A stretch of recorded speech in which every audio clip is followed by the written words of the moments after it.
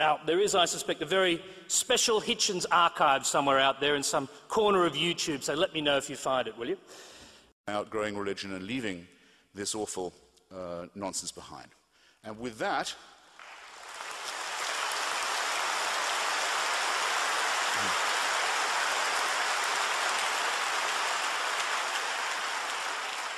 And with that, I think I've realized that if you haven't copped my drift by now, I might as well go and sit in that chair anyway.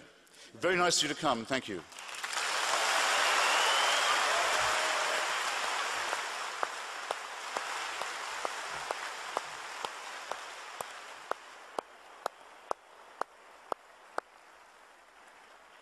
Have a quick drink of water while you yes, can.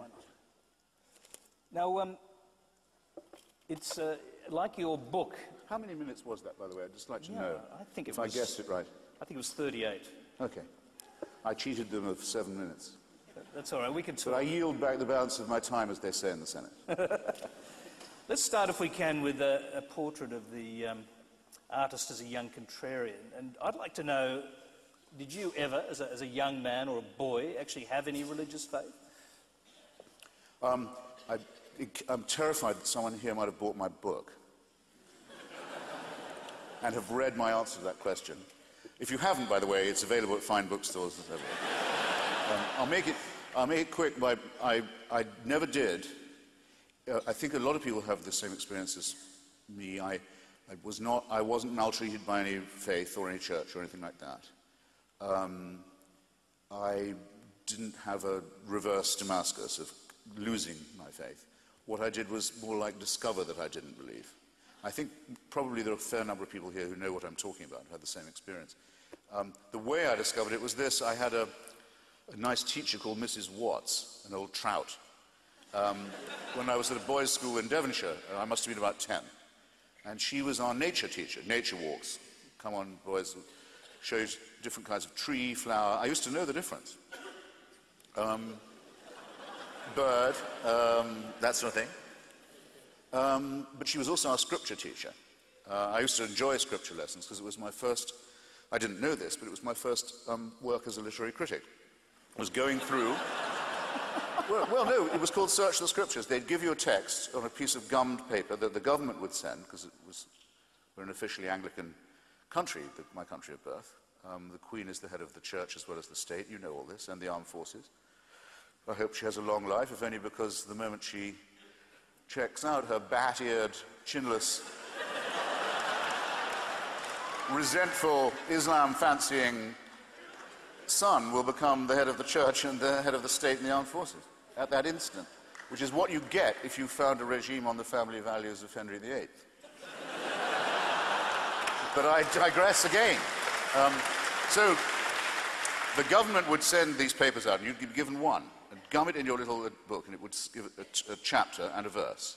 And you'd have to look that up and say what led up to and what led away from this verse. So the, they wouldn't give you the story, just the verse, and you'd have to tell of what story or parable uh, this verse was the culmination. Really well worth doing and taught you to do some close textual analysis. Um, one day, Mrs. Watts made a fatal mistake, and she, she tried to combine her scripture teaching with her nature teaching. And she said, swept away by faith, she said, and boys, you notice how beautiful the greenery is the, the trees, the fields, the shrubs, the leaves, all, they're lovely shades of green, which she said is amazing because it's the color that's the most restful and lovely to our eyes. So God must be very good because imagine if He'd made the leaves and the grass orange or, or purple or something really clashing and, and horrible to the eyes. But he didn't. He made it green, which is much nicer. And I thought, I was 10, I thought, that's bullshit.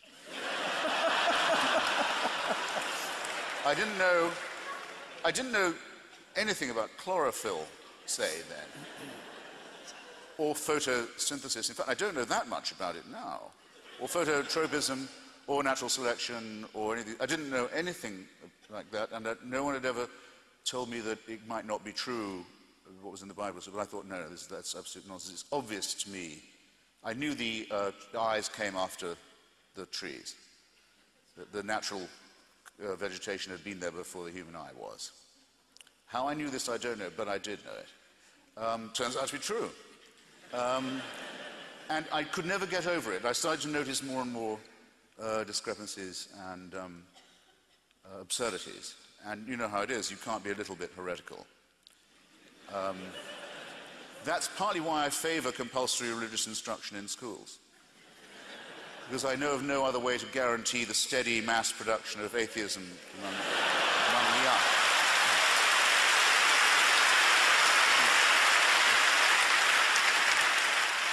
Do you know, it, it, never occurred to me when I asked that question it was an invitation to recite the first chapter. No, well, there you go. But uh, you've, you've, done so. But if you want, the hard copy so is still fine paperback version. Listen, uh, God is not great. I mean, you can tell, and everyone here can tell, that uh, your use of language is mesmerizing. The book is a, is a polemic, and as such, it's quite intoxicating as well, I think. But for this conversation, I've been looking for the flaws in your argument, and here's what I think the main one is. Um, you've exposed every conceivable facet of religion's capacity for evil, but you've made virtually no admissions at all about its capacity for good. So I wonder why you refuse to do that. Well, I thought there were enough books making that point. um, so I would write one stressing the dark side of it, if you like. But I'm not going to pretend I don't know what you mean. I mean, it's, it is another question that I know I always know I'm going to be faced with, so I don't think I, I duck it so much as to try and anticipate it. My, the way I've resolved this, to try and make it um, condense, is this. Um, you have to point out to me, I've tried this with quite leading theologians and members of various religions and important clerical spokesmen. I said, you give me an example of a moral action taken or a moral statement made by a believer because of their faith that I couldn't make as a person who doesn't have faith. And I have not so far had anyone point such a thing out to me, except the, the um, um, well, let me come to that in a second, because uh, I haven't yet had a convincing answer offered. But the corollary question is this Can you name me a wicked action undertaken or a wicked statement made by someone purely because of their religion, and you've already thought of one. Everyone here can think of one right away. And you've thought of another one too, now you're thinking about it. to answer my own question, um, I was once told, well, I've thought of something. It's a statement. And I said, okay, tell me. And it was, Father, forgive them, for they know not what they do. And I said, yes, but I, by definition, couldn't make that statement. For obvious reasons. I mean, I, I'm not in the position of having such a father or being able to uh, make such an appeal to him. So it isn't, it isn't something I'm forbidden to do by faith. It's something no Christian could say either. Uh, but it was a good try. I have come up with a remark, because uh, I try very hard to, to argue against myself. And um, it came to me the other day that Lech Wałęsa, during the early struggle of the solidarity movement in Poland, was interviewed as the shipyards were being surrounded by the Polish militia and army and his little band of, of resistors and dissidents was in there with the, with the hard, fairly of the Polish working class around it, but a perilous situation. And he was asked by an interviewer, Aren't you scared? Aren't you afraid? And he said, with complete composure, he said, I'm not afraid of anyone but God. And I thought, well, I think that's a nonsensical statement, but I think it's a very noble one. And I wouldn't be able to make it. Um, it is a bit contextual, however. That was the favourite statement of General Edwin Walker, the right-wing crackpot who was the founder of the John Birch Society in the United States as well. The man who Lee Harvey Oswald practiced assassination on, in fact, first try. Um, dry run, you might say. Um, but I, I, I, would have to say I'm, a, I'm aware of what a statement like that can mean to people. Well, indeed. In the same way as I'm aware of what a stained glass window or a psalm or um, a mosque can mean to people that, alas, it can't mean to me. Indeed. And there is a passage in your book, actually. I mean, you, you, say that you can't think of something that you couldn't have done, a moral action that you couldn't have done without having religion. Fair enough.